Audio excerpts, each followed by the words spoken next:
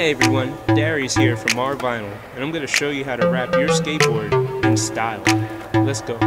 Alright, let's get right into it. So first thing you want to do is prep your surface smoothly and evenly with a sanding block. Rapid Prep, available at Rvinyl, is used to set the surface for overall smoother application when applying the vinyl. Our 3M primer pen, also available on our website, is highly recommended for this application as it will seal the edges of the board tighter. Both application items will be linked in the description below.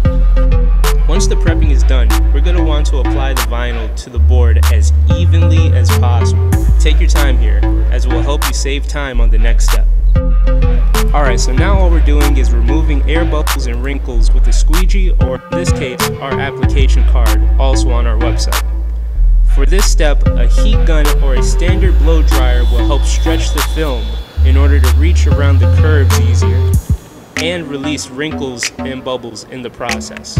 Alright, second to last step is trimming off the excess vinyl from the sides using a snap or X-Acto blade cut as evenly as possible to create a seamless finish around the board.